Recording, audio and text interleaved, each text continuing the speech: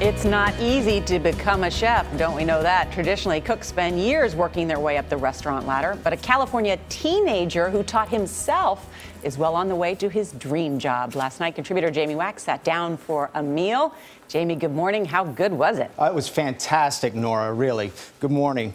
Flynn McGarry has been cooking since the age of 10. That's when he started teaching himself techniques by studying cookbooks and watching videos on YouTube. He runs a monthly dinner club in his mom's house, and last night in New York, he treated 80 guests to a $160 eight-course tasting menu. Just keep adding charcoal to it too, just like a couple pieces. 15-year-old Flynn McGarry has spent the last few days in this New York City kitchen. But every time that you mix it, I need to taste it. Preparing dishes like green mussels, duck roulade, and blanched asparagus. The sought-after chef, not yet old enough to drive, has come a long way from his mom's Los Angeles kitchen. How did this passion you have for preparing food at this level start? It started when I was when I was 10. I um, my mom wasn't the she wasn't really into cooking and uh, Are you being polite there? I'm being a little polite. Carla Rubin, who often hosts dinners prepared by top chef finalists and celebrity chefs like Jamie Oliver, invited Flynn to cook in her company's New York kitchen. Of all the events that you've done, is this the most enthusiastic yeah, you've seen uh, people? Yeah, for sure, for sure. And, uh, and he's the most unknown of all the chefs, so he is really drawing a lot of interest. Is this a gimmick on some level? There is absolutely nothing gimmicky about him. If he were 35 years old, yeah.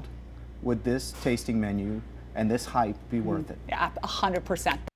Flynn, who recently appeared on the cover of the New York Times Magazine, is receiving praise from food fans and culinary masters alike. But he's also become a target of some criticism on the internet. I try to take it all with a grain of salt uh, for a great food pun. You're going to get a little fazed by it, but I think it also kind of builds up, builds up a tough skin. In a kitchen, you'll, you'll get said worse things than on the internet, and it's just like, oh, that's that's nothing anymore. As a guy who loves to be challenged and to rise above low expectations, have the haters helped you on some level? That's my favorite thing ever. It's when someone comes and wants it to be bad and leaves happy. That's like you completely flip their opinion with your talent, and that's kind of like a very uh, something that you don't see that often. Flynn's mother, Meg, traveled with her son to New York.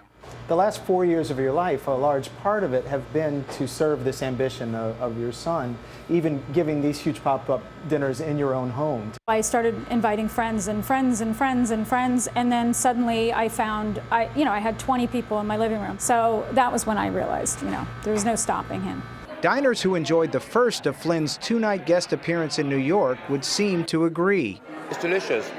What do you say to people who, who try to point out that by focusing on this obsession of yours and this passion of yours, that, that you've robbed yourself of some element of your childhood or some part of that. I'm not really missing out on anything because this is all I want to do. And also, I mean, I had 10 years of childhood. I think that I think that that's enough.